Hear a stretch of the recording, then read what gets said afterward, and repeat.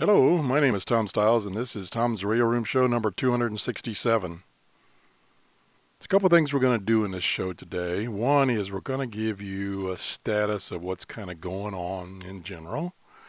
And then once we've done that, we're going to do a reply to a couple of questions I've gotten on using your new radio.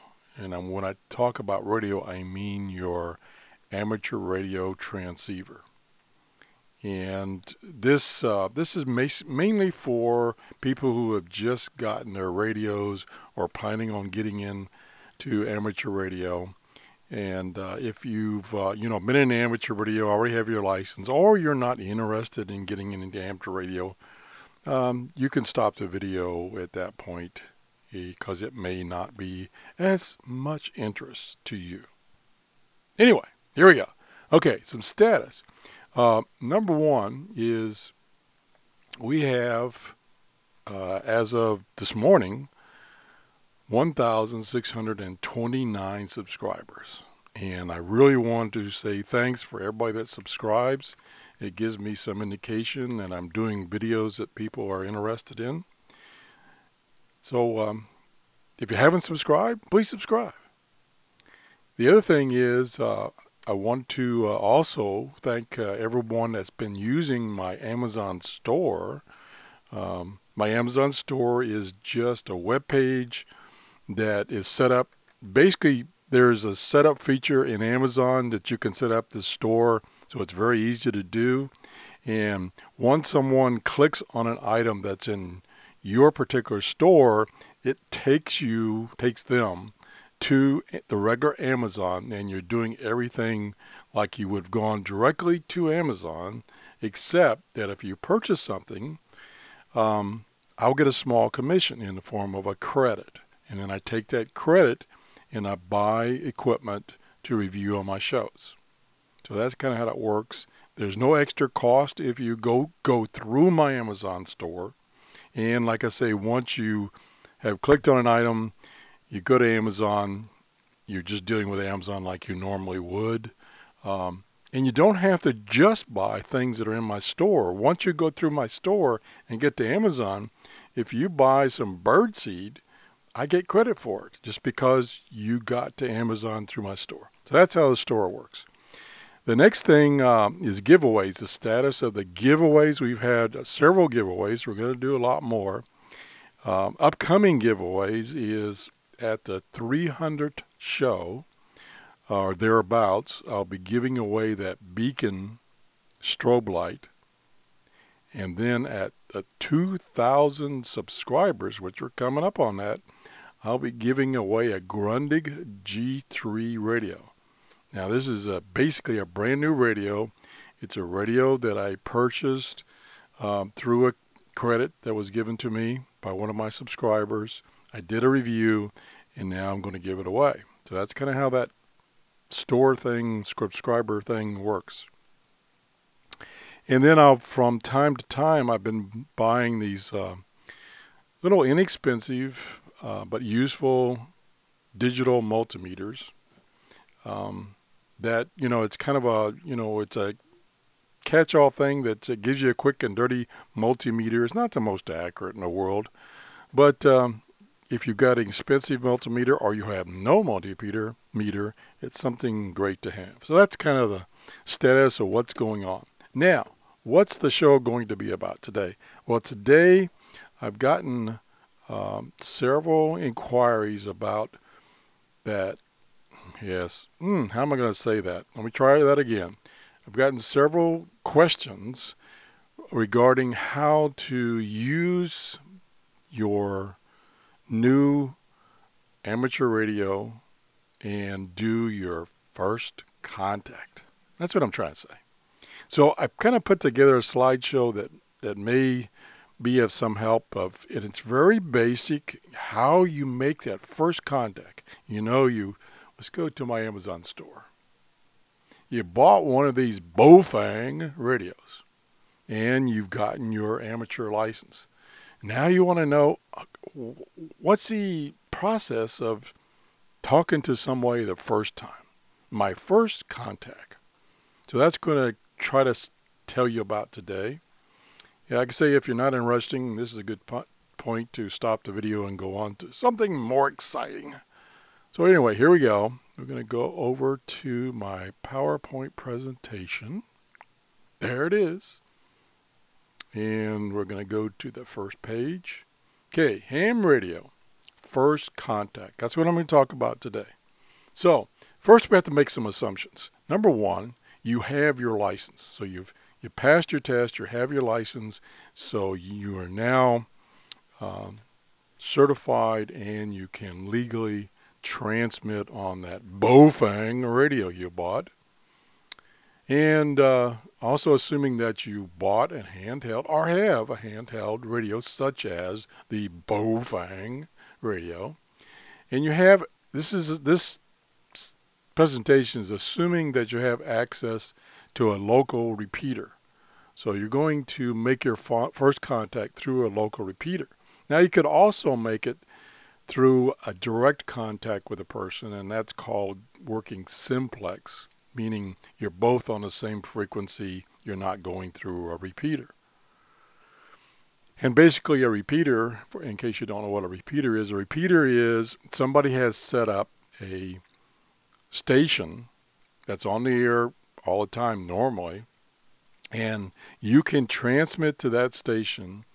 It has a bigger amplifier, a, a big tower maybe, or antenna. It's way up in the air, so its coverage is much wider than your HT, which your HT is maybe three or four miles coverage, but going through a repeater, it might be as much as a hundred miles. So that's what a repeater is. It repeats your signal other people can hear it further away from you than just hearing you directly, and then they can transmit back to that repeater and you can hear them. So that's how a repeater works in a nutshell. Now, the other last assumption that I could think of is you programmed your radio for those repeaters. You got to set up the, the transmit frequency, the receive frequency, um, what's called an offset and what's called maybe that the repeater requires is a PL tone. And that's a whole different subject is about communicating repeaters and I could spend a half hour on that.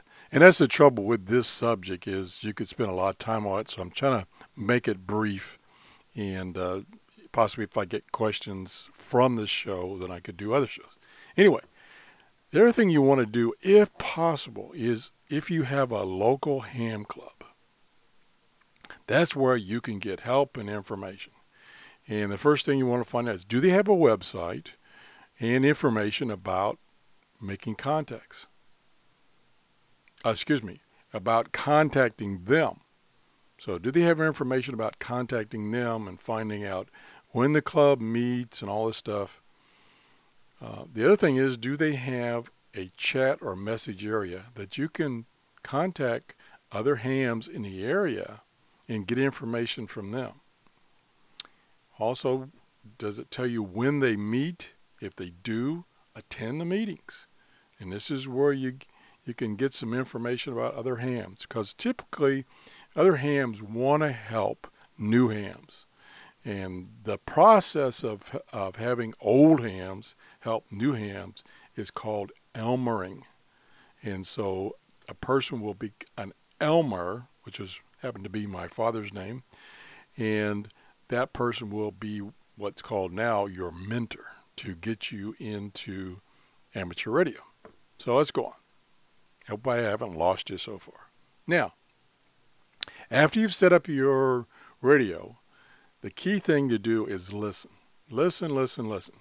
Well, who's on the air, what they're talking about, what kind of people are. Write down notes. You know, make yourself a notebook, either a real notebook, uh, a loose leaf binder, or on the computer, so that you can take notes. You can write down people's call signs, their names, you know, maybe something interesting about them, their hobbies and stuff like that. So you have something that once you try to contact this person, you can talk to them about.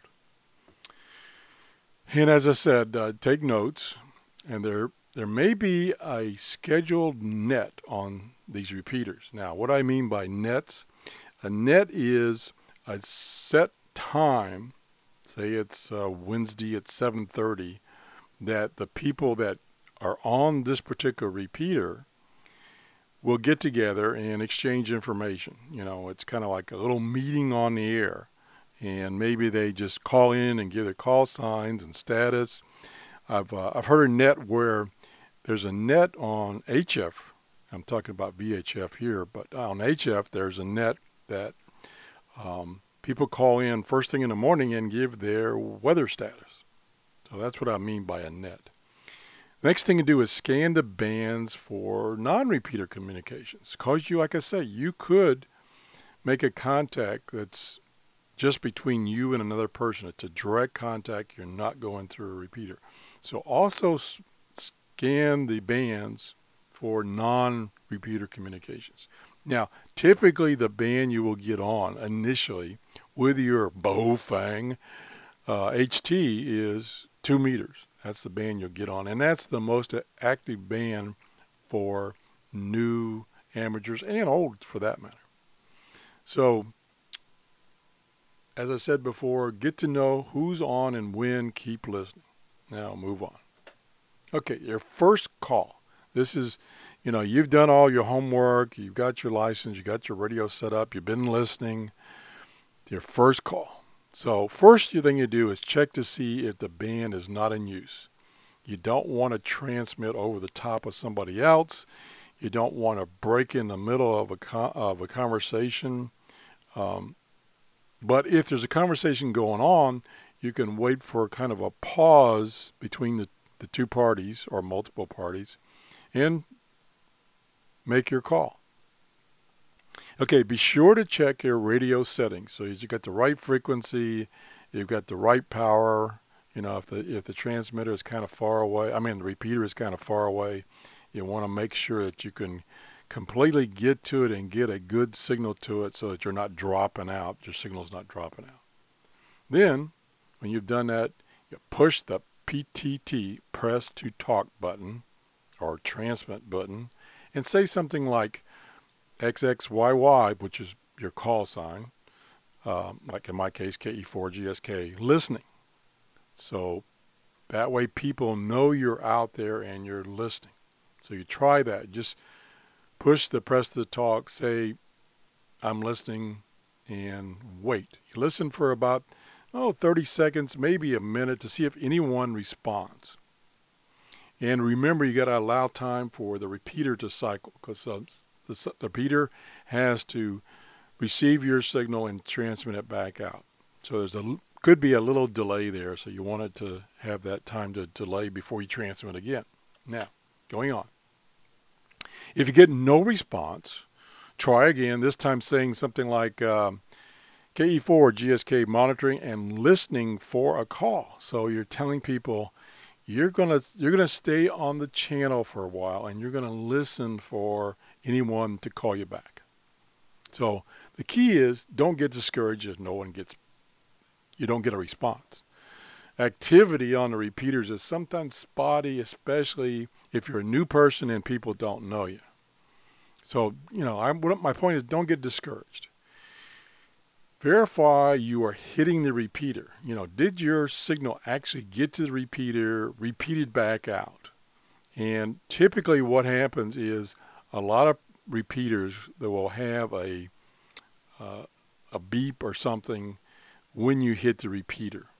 Now, some people what they do is they just key the mic and see if it hits the repeater and see if they get a, a beep back. From, That's called kerchunking, and it's kind of frowned upon. So you really, when you press that push the talk button to transmit, you really want to say something. Like I said before, you know, say something.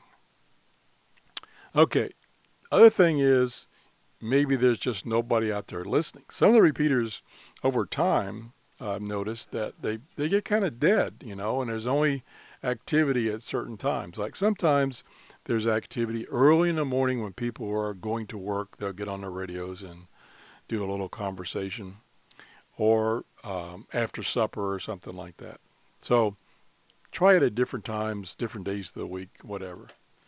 Okay, now When you get a response, somebody says, you know, okay, I hear you, come back, whatever.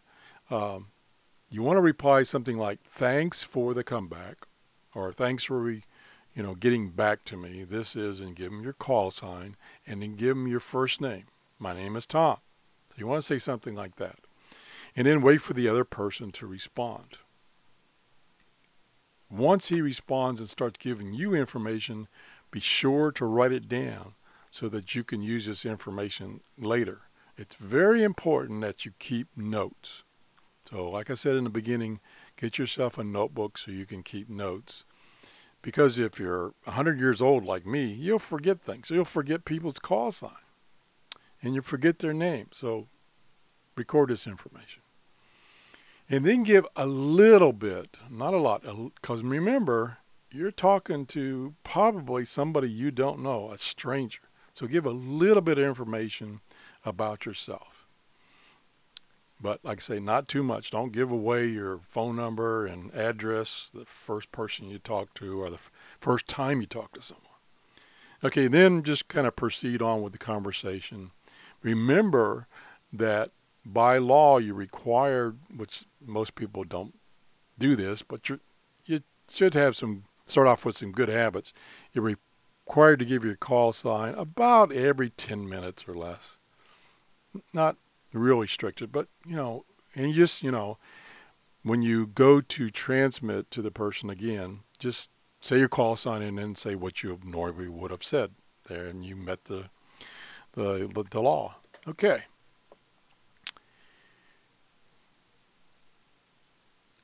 One thing to remember is to give your contact and the repeater time to respond. There could be a delay there, like I said before. Plus, uh, you know, he may be sitting away from his um, microphone, and he may, you know, may take him because he's been listening to you. He may take him a few seconds to respond. So give him time to respond. The, you know, this is uh, basically um, a, a one-way conversation. You talk, and then he talks, and then you talk. So you, you both can't talk at the same time like you do on the phone. Okay, just keep that in mind. Then at the end of the contact, you would finally say something like, uh, thanks for the contact, goodbye for now, and then give his call sign. And then the, this is, and give your call sign and say clear and monitoring. So you're clear with this conversation, but you'll be monitoring on the side for other contacts. Or if you if you're not planning on doing that, you know, your your first contact and you're kind of exhausted, uh, then don't say the monitoring part. Now, what do you do if you're turned on your radio and you're listening and you hear somebody doing what you just did? They're calling for a contact. So to respond to a call, um, you might hear, you know, somebody give his call sign. You would respond with his call sign, and I just made up these call signs. They don't mean anything. You would respond with his call sign, and then this is your call sign. That's what you would say. And he could say, you know, good day, my name is Tom, and I'm located in Clearwater, Florida. Back to you. That just gets the conversation started. And then once you've done that and he's come back to you, then the communications proceeds as I described before. So that's kind of, in a nutshell, um, how you would make your first contact. And uh, trying to get back to there, trying to get back to that page. So if you have any additional questions, like I say, I could spend an hour or more on this, and uh, but I'm just trying to get you, you know, it's a feeling that it's it's not going to be that difficult, and it's pretty straightforward, and you if you kind of follow my outline your first contact will be straightforward and then you'll be making many more. So thanks for watching. That's the show for today. Bye bye.